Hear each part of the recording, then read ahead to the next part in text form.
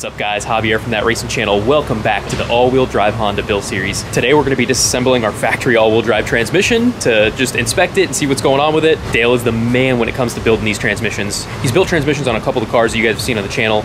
Josh's MR2 makes like 1200 horsepower bottom eight second MR2, absolute beast. And also our boy Kev from Four Bangers, he built his trans. But let's go inside and say what's up and check it out.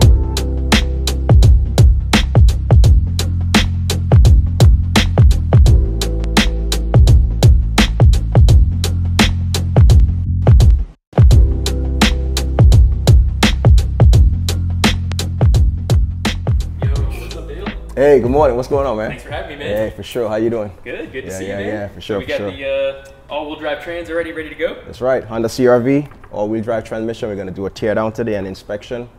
And Awesome, um, man. yeah. Well, walk us through, I guess, the, the process of what, what we're going to be going through. All right. So first, I'm gonna remove all of the accessories: the shifter mechanism, the speed sensor, remove the transfer case, brackets, and um, remove the detents.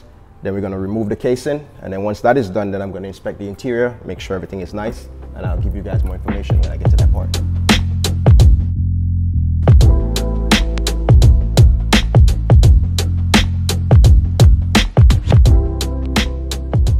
All right, so about to start the teardown process. This is the 2003 Honda CRV transmission. Um, first thing I do is remove all of the exterior components before I actually get into it. So let's start by taking off the bracket.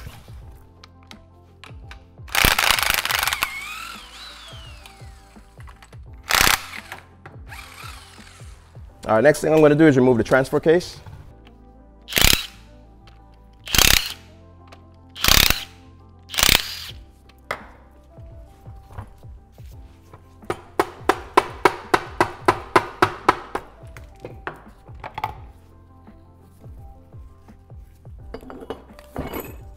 Next thing I want to take off is the speed sensor and then the shifter mechanism. Now these speed sensors, you have to be really careful when you remove them because they may break. So you have to pry it very slowly so that way you don't destroy the speed sensor. Shifter mechanism has an Allen right here. So Allen uh, lock or Allen nut. and four 10 millimeters at the top.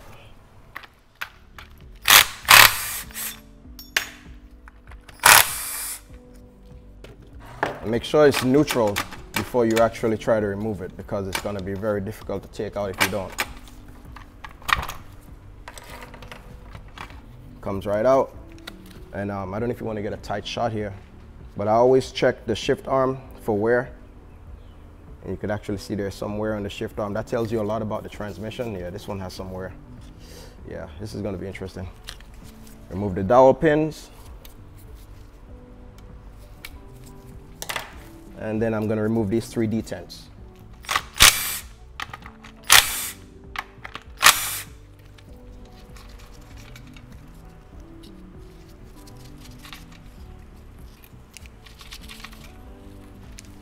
Removing the detent balls with a magnet. Also remove the bearing, the clutch release bearing. This one has some oil in it.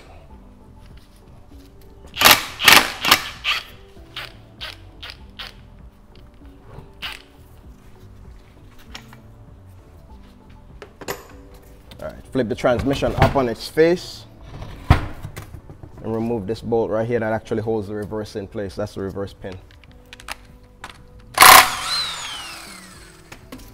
There's a clip at the top that holds the countershaft bearing in place. I'm gonna remove, open up that clip.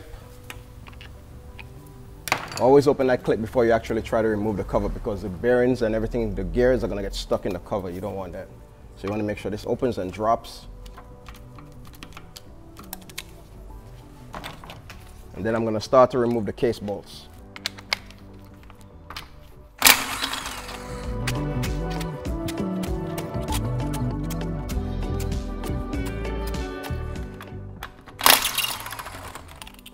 All right, so once you have all the case bolts removed, now it's time to remove the cover. And again, always check to make sure that this clip is open at the top before you start to remove the cover.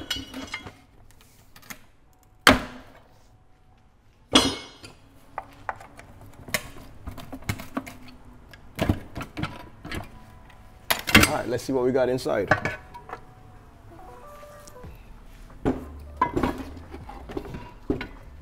All right, so on the cover, I usually check to see if there's any buildup, any debris, or any particles that sometimes gets trapped inside of this um, baffle, oil baffle.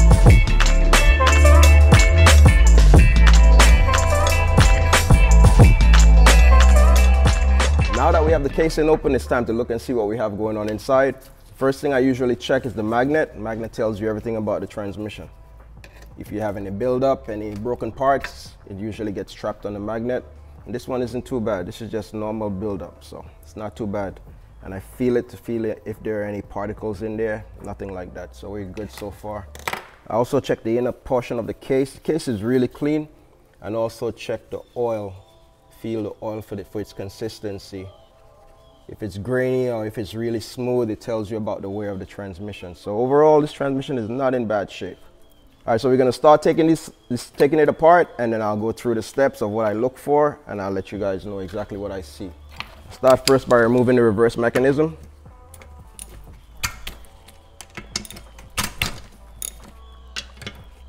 And I always like to break these instead of putting a tool on there, putting a gun on it, because you don't want to mess it up.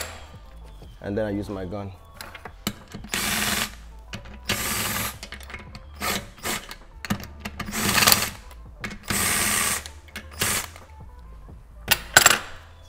Removing the reverse assembly and then the reverse idler. I always like to check the reverse idler for wear as well because these really get banged up after a time. This one is not too bad. Can reuse this. Next I'm going to pull the entire stack out and I'm going to lay it right here so you can see it. Now this is the first time anyone has been in this transmission I could tell just from breaking the seal. I can also tell and a lot of people make a mistake when reinstalling these um, shims, uh, washers I should say, they flip this washer upside down. One's concaved. The concave one goes first, bevel edge goes down, and then this flat washer goes on top. Now I've seen it where people do this, and that's incorrect. You can't get a proper end play if you have this installed incorrectly. Let's get a shot of that there. Yeah. All right, next thing I'm gonna do is remove the diff.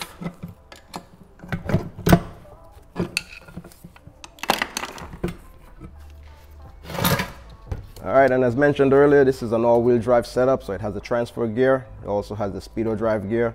02 to 04s use the speedo drive gear, and the 0506 use a magnetic pickup, which reads off of the third gear. So we know this is a 02 to 04. Casing looks good. No debris, no particles. It's not bad. Okay, next thing I do is I check the shift forks. You want to check the shift forks for wear. I usually pass my finger. It's visible. You can see visible wear on the shift forks in these areas where it makes contact with the sleeves and where it makes contact with the shift mechanism. So this is your one, two shift fork. This one looks very good. Three, four shift fork usually takes a beating because that's where people like to have fun, shifting third and fourth. And being that this is a CRV, people don't really race stock CRV, so this one is in good shape as well. yeah, that's for sure. Everyone likes it, right? And then finally, we have the five reverse. And this one looks good as well. No excessive wear. I check these areas for wear. And also in the middle here where it makes contact with the shift arm. Looks good. So now you have your stacks. You have your counter shaft stack, and then you have your main shaft stack. So we have both shafts here. This is your main shaft stack, and this is your counter shaft stack. Um, first thing I want to do is go through the, let's set this one aside. We're going to go through the main shaft first. Uh, just to give you guys an idea of what the gear set looks like, you have first gear, this is your reverse, second, third, fourth, fifth. A clear indicator that I use whenever I take these things apart is by telling, looking at the shift arm and see how much wear is on the shift arm. You can see it has a lot of wear. I don't know if you can catch that. Yeah. yeah. But um, that's an indication that someone's been living in third and fourth gear on this thing. And you can also see that impression on the hub. The hub is scorched up on the inside that's when you start misshifting gears, etc. And this synchro is a little bit on the low side. See how it's touching the gear? Mm -hmm. So we definitely need synchros in this one. I also check to see how the slider, some people call it slider or the sleeve, how it slides between third and fourth. It's not sticking. And also I check the engagement for each gear. So the engagement of these teeth right here, they should be shaped like a rooftop or arrowhead. Once it starts wearing, it gets smudged. So you want to look for that pointy arrowhead. So this one in the third gear is excellent. The gear itself is in good shape. Synchro is a bit low. This hub I would change because of the impression that I see. And usually that impression is created from the sleeve. So you'd have to change the sleeve and the hub as well. Fourth gear looks good on the engagement and fifth gear is good as well. And fifth gear slides. Now you can see how clean the fifth gear is on the hub. You can see all the debar, all the marks on the inside. Versus here. Oh yeah, big difference. Yeah. Yeah, so that's an indication that the sleeve and hub is going and time to change that. All right, so this is your counter shaft stack as I mentioned, and I can see that the second gear spring is completely flattened out. Now this is a good spring and I usually roll my hands on the spring to feel if there's any imperfections in the spring and this one you see is well rounded and if you can catch this you can see how it's flattened out oh yeah that's flat yeah yeah so this definitely needs a master rebuild set which includes all new synchros sleeves hubs springs um, bearings I'm going to check the bearings don't feel too bad but usually I do a master rebuild because you don't know the history of the, the transmission really. And let's go through this so I can show you. This is, this is um, your counter shaft. So this is your first gear. This is your second gear, third gear, fourth gear, fifth gear. This is a five-speed Honda CRV. And I also check the one-two sleeve. Make sure it's not sticking when it slides. Check the first gear. Now, first gear usually is in great shape unless you're just a crazy driver. yeah, first gear is good. The gear itself is good. Now this is what I was telling you about, looking for that arrowhead pointy, pointy area. This is your second gear. If you can catch that, you can see how it started to get smudged out, like mushroomed out. Yeah? Yeah, that's when it's starting to go bad. And that's usually when you start missing gears. When you start missing gears, your synchros are starting to wear and you can't get the synchronized engagement. So you start getting that grind. And over a period of time, it flattens it out. Then eventually what's gonna happen is when you can't get that proper engagement, it's gonna start popping out of gear.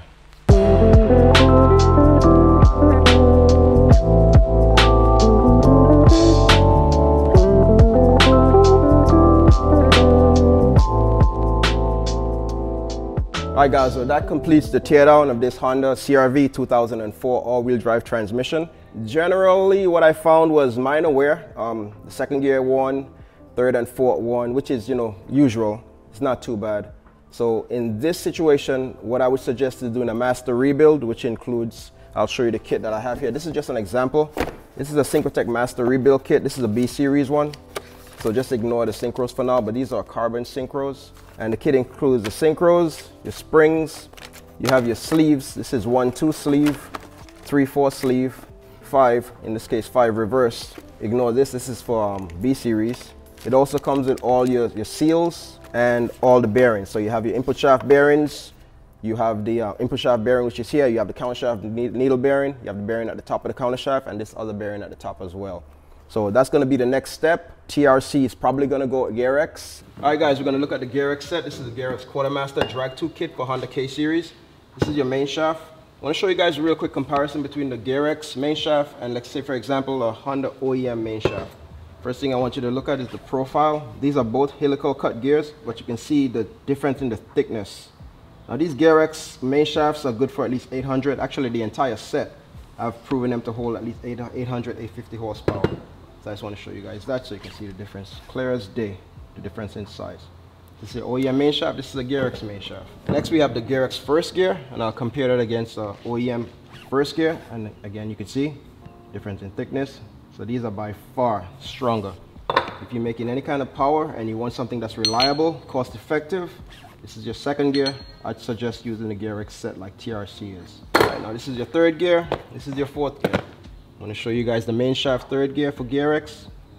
Main shaft oh OEM, big difference. Finally, we have the fourth gear. I'll put them side by side. There you have it.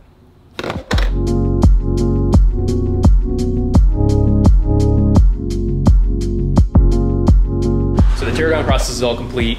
We know the stock transmission isn't going to take us far. So we're going to put together this uh, Gear X Trans, which they say it's good for 800 horsepower. Uh, so that should take us a little further. And then from there, there's a bunch of different options, PPG, sequentials, all that, but we're not probably going to get into that till way further down the line. Uh, we should be able to have a lot of fun on this transmission setup. In the next episode, we're gonna come back, we're gonna show you guys the build process on the transmission and get this thing ready to make some rips.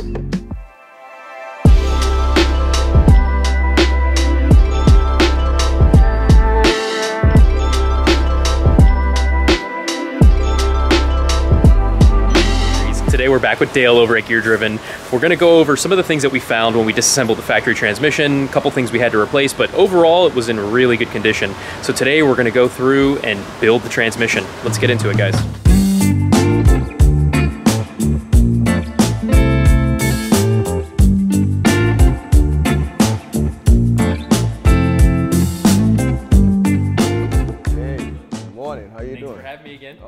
Sure, man. How you been? Good, man. I'm All ready right. to see this trans get built and right. learn a little bit of stuff. So To kick it off, this is part two, guys. So we're actually gonna do the build today. The last video, you saw the teardown process. You saw how I went through it, explained what was wrong with the transmission and such. These are the parts that I took out of the transmission. This is the CRV parts. If you can just pan over here, I'll show you the, the Gear X stuff that's going in. So you got your Gear X set, one through four. The master rebuild kit from Synchrotech that I mentioned in the last video with all the sleeves, the hubs, synchros, bearings. And this is the shifter mechanism and the hardware from the CRV. And this here is your CRV bell housing. I've already started, actually put the bearings in to kind of speed up process. So I installed the, the counter shaft bearing, this the main shaft bearing and the, and the seal. These torque down, I always mark them to make sure that I remember that I torqued it down. And that's where we are right now. Today we're gonna start the build process and um, I'll inform you as I go along. sweet,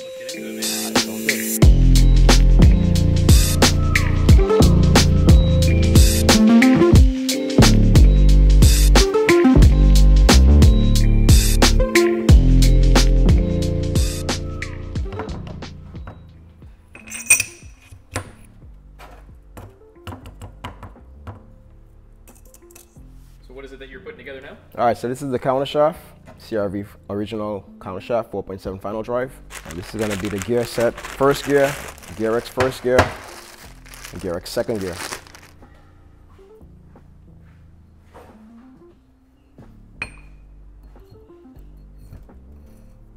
All right, let me go ahead and prep the synchros. So the synchros on the transmission we had, the factory transmission were, were pretty shot. Right. No, the synchros, synchros weren't too bad. They're not too bad. When they get really bad, you see an impression on the outside here from where it touches the gear. When the synchros get really low. So you still have some gap there. So it's still a good synchro. But we're just gonna go ahead and refresh the transmission and change all the synchros out.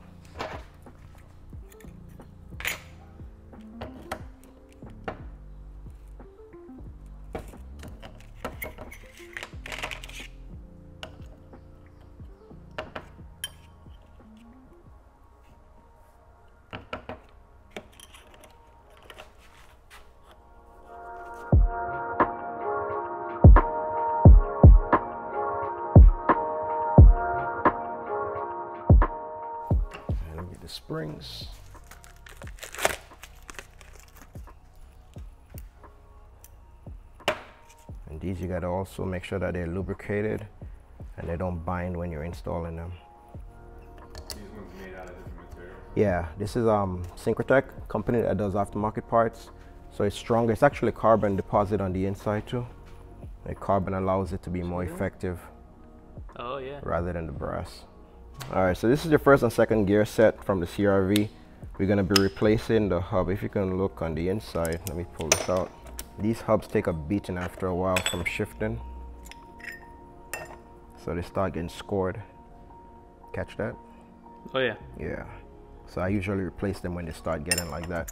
So today we're gonna replace it with the Synchrotech brand. This is a heat treated hub. This is your first and second hub.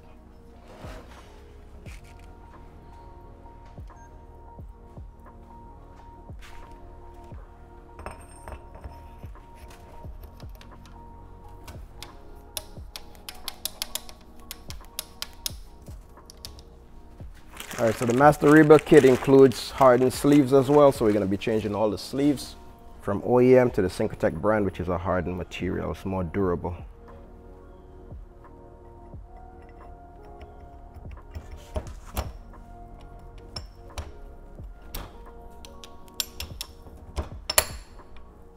This is the second gear synchro.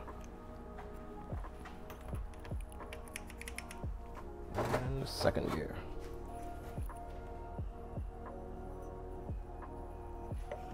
Yeah, some of this stuff I reuse, but I always check to make sure that they're good. This is your friction dampener for second gear. You just want to make sure it's not completely worn down. And it installs right here in the second gear.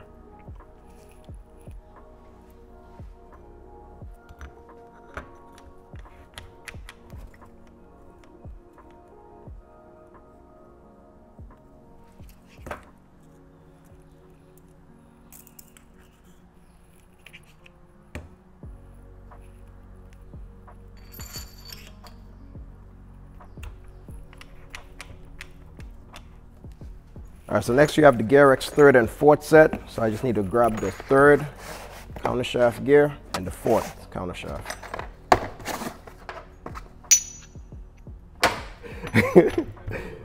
yeah. All right. I'll take it over to the press.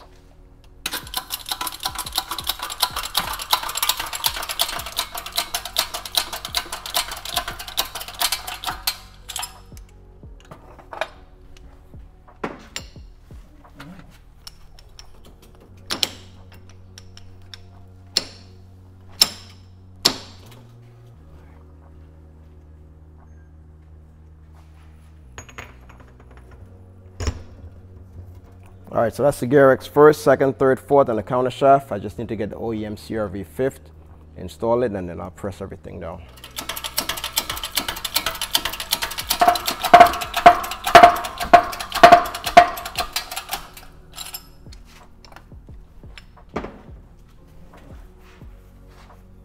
All right, so your counter shaft is almost complete. The only thing I have to install now is the bearing that goes at the top. And I simply tap this on. Final piece of the puzzle. Guys, do not use Loctite on this nut. I've seen it several times. Please do not Loctite it. Just torque it down to spec. It's reverse thread, by the way. To the vise we go. Yeah, so I don't over tighten this. I just clamp it down enough because you don't want to damage the gear.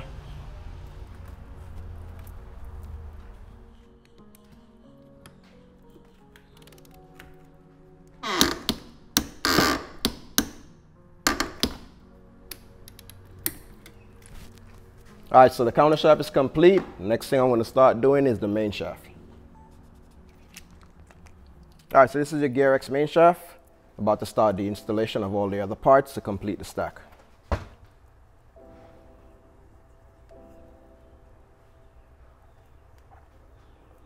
right, so this is your pile of used parts from the CRV. What I'm looking for here is just the parts that I need to reuse for the rebuild. So I need the distance collars and the bearings. Everything else is going to be coming from the Synchrotech Master rebuild kit. And I'm going to also replace the 3-4 hub as well. Yeah, so this is the original CRV 3-4 hub set. You can see how it's sticking right here. That's when you know it's getting really bad. It's going to give you problems when it's shifting. You can also see the wear impression on the third gear side. And let's see what the fourth gear looks like. Yeah, it's not as bad. Yeah, but this is definitely no good. So that's why we're going to be replacing both the hub and this, the um, sleeve from the Synchrotech Master Rebuild Kit.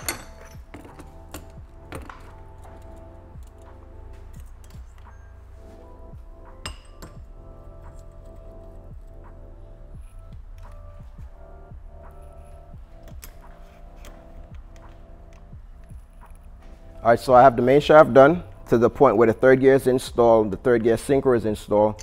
This was the original 3-4 hub sleeve set.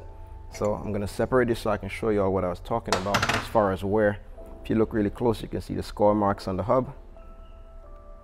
Oh yeah. Yeah, so we're gonna be replacing that for a brand new Synchrotech one. Big difference.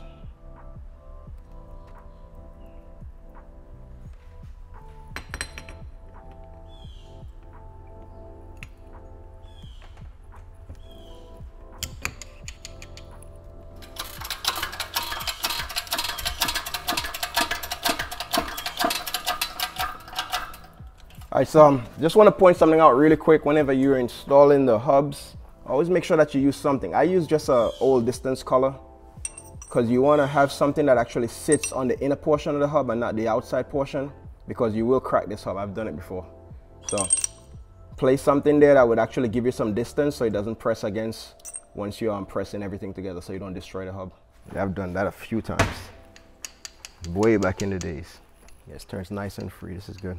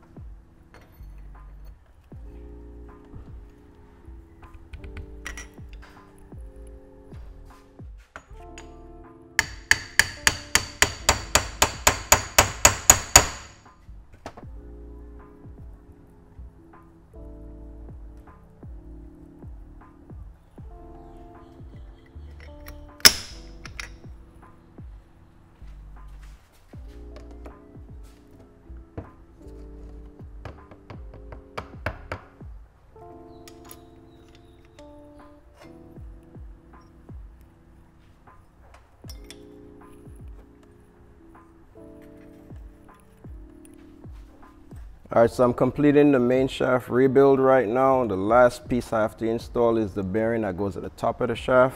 I'm just applying some oil so that it's easy to install and then I'll tap it on.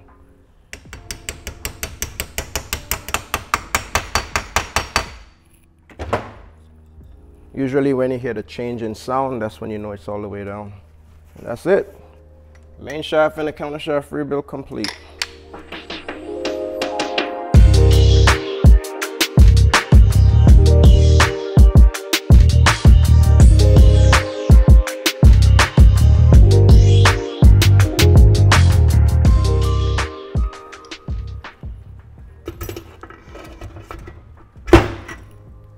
I'm doing right now is setting the main shaft up so I can do the main shaft end play. It's a very important part. Whenever you're using aftermarket parts, you want to make sure that the thrust is correct. You make sure you have the correct shim installed at the top so, you, so you, the transmission is not too tight.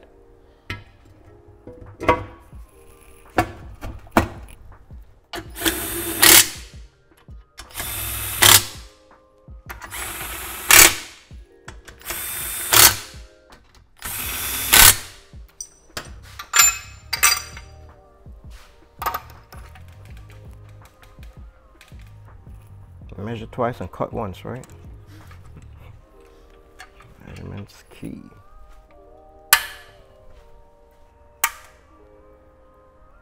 There you go. This tool you can purchase from Honda. It's very expensive.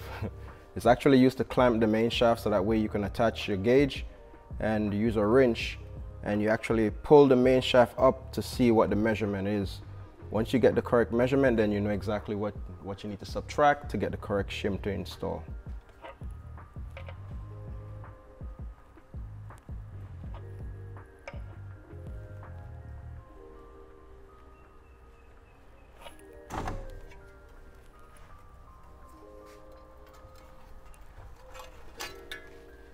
All right, so this is the shim that's gonna get replaced. This one is too thin, so I have to use a thicker shim so I get the correct clearance on the main shaft end play.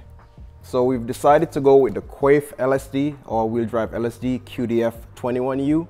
This is actually a helical style LSD. Very good LSD if you want to do street track racing or if you want to do autocrossing. So it's general purpose, very good helical LSD. Um, what I've done so far is I've installed the differential bearings. I've also installed the, the final drive gear and also the transfer gear. And it's already torqued down to spec. Reason why I had to do that is because I had to get my shim. Had to order the shim from Honda just came in yesterday, so we're ready to rock and roll. Okay, I'm just about to start the build process. Um, like I said, the differential is already installed. I'm gonna start installing the gear cluster and then all the accessories and then close the casing up. So let's go.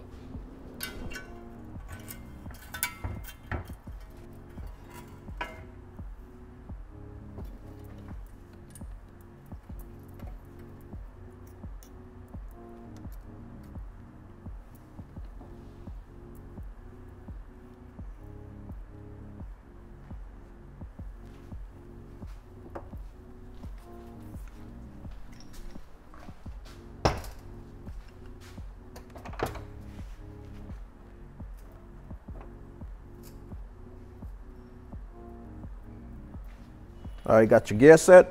You're gonna start by installing the forks. The one, two shift fork, three, four, and then the five reverse.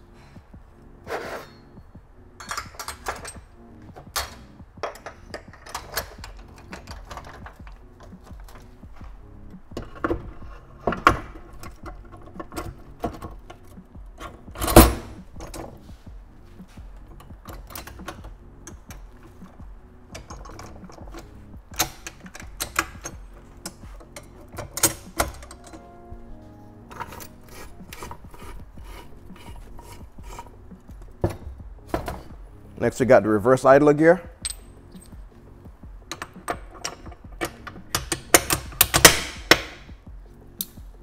Reverse selector.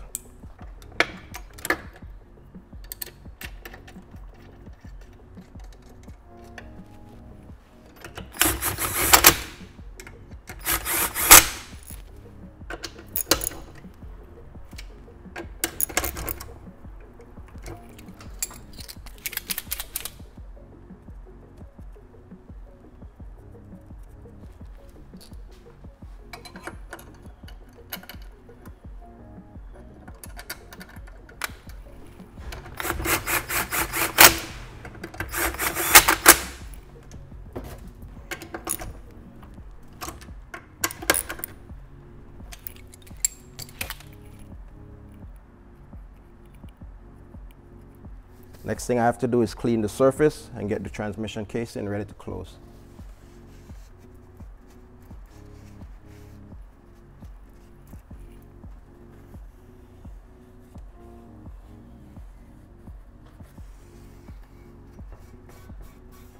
All right, so I'm just prepping the case so that I can apply some Honda bond and seal the case.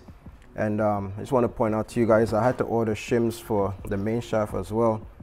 I have it written there 1.88 and this one's a 1.445.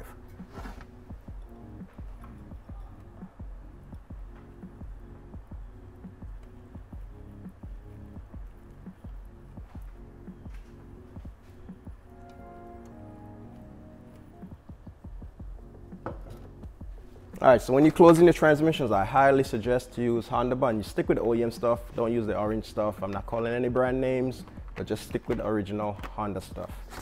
And you wanna apply this evenly, not too much. Just apply an even layer around the surface of the casing.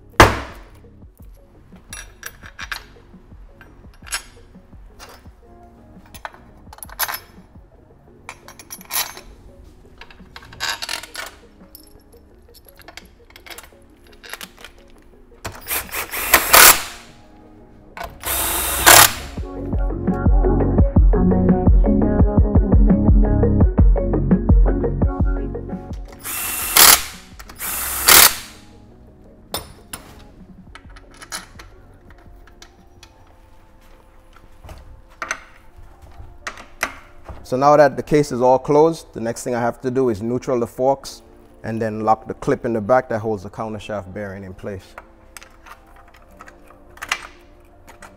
I don't know if you heard that click, but that click that you just heard is the countershaft bearing getting locked in place. You can see that it's closed.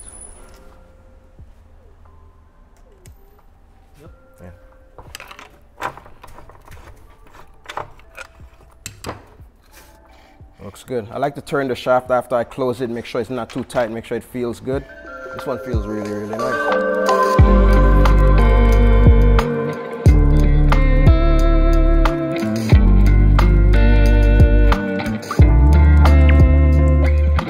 All right, so now that we have the transmission closed, the next thing we have to do is install the shifter arm.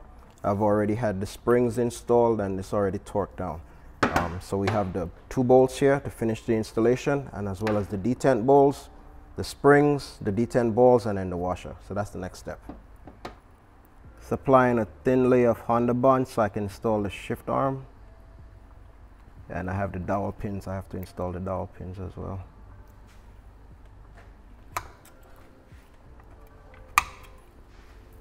Now the key to installing the shift arm is really straightforward. You just want to make sure that the, the, forks are neutral. You look inside, I'll show you what I mean. You can see straight through, no obstruction, everything's lined up. So if it's, if it's like off like that, it's not gonna go in properly. Just gotta make sure it's all centered like that.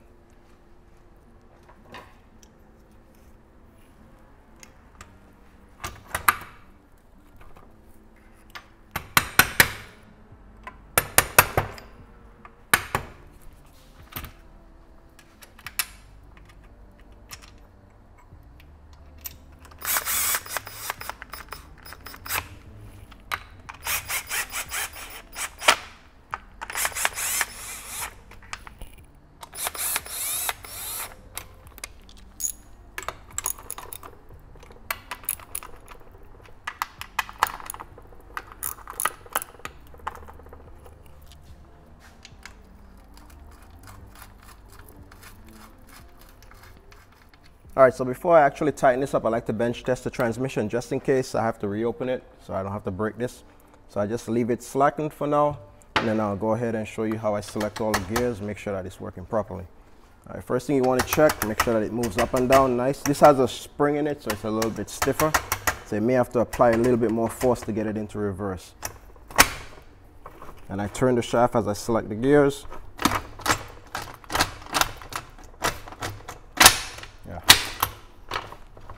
That's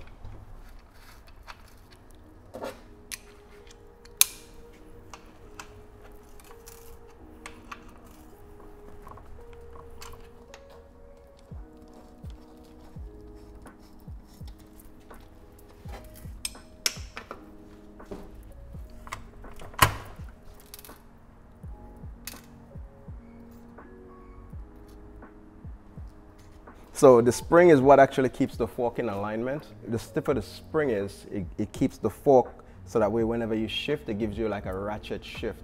So you don't have that sloppy feeling that the shifter box gives you, like an OEM shifter box. So that's why they came up with these bigger springs. And there's a lot of tension on these springs, so when you put them in, just gotta make sure you thread it first, so that way you don't cross thread it. Because if you cross thread this, you're gonna be in major problems. You're gonna have to change the cover. So just run it down with your hands first and then you could um, use your ratchet or your gun.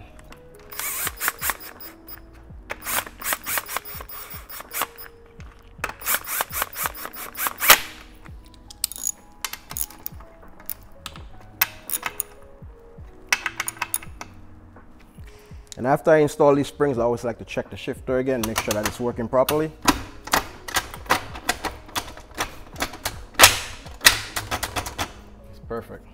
All right, so next we're gonna install the OEM speed sensor. Um, I usually suggest the guys, depends on the way your engine bay is laid out, you can install, I mean, you can fill the transmission either from the speed sensor or you can actually fill it from the reverse switch. So whichever is easiest accessible for you, right? What fluid would you typically recommend for, you know, for your trans builds? Trans builds, I usually tell people to use the Honda OEM manual transmission fluid, Honda MTF you can break it in with that and if you decide to like go with like an aftermarket brand you can do a synchromesh blend. That's fine. So we're just about done here huh? Yep almost done. It all went super smooth man. Super you, have smooth. been doing this a long time huh? Yeah. Yeah I, can, I, can, tell man. You know all this like the back of your hand you yeah. explain everything while you're doing it. Like you yeah. honestly did not skip a beat man. It's, yeah. it's been a super cool experience. I started this as a hobby. I mean i went to college for communication. I had no idea about cars. Started messing with cars started building cars my own personal cars started breaking cars mainly the transmissions. So eventually I reached out to a friend of mine and um, he used to do my transmission bills. So after work, I'd go to his shop and hang out and just watch him do it. Long story short, eventually I was like, you know what, let me try doing this on my own. I started doing it on my own, build my own cars, build a couple of French transmissions, and then I said, you know, I can maybe turn this hobby into a job. So eventually I left my job and then I started Gear Driven LLC. So here we are today. That's awesome. Yeah. How long you been doing it? Uh, I started in 2007.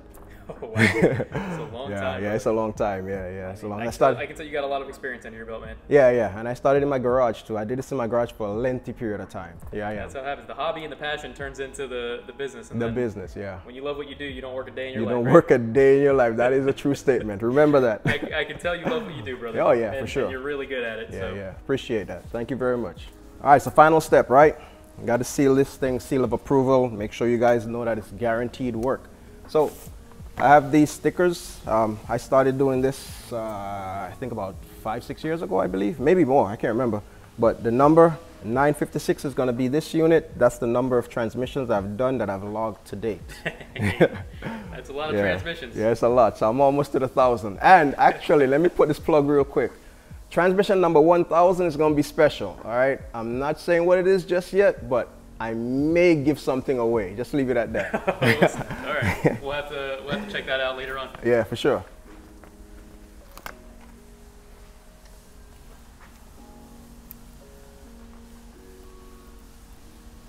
Here we go. Here it is. All-wheel drive trans complete. Complete. My man. Much appreciated, man. Thank you.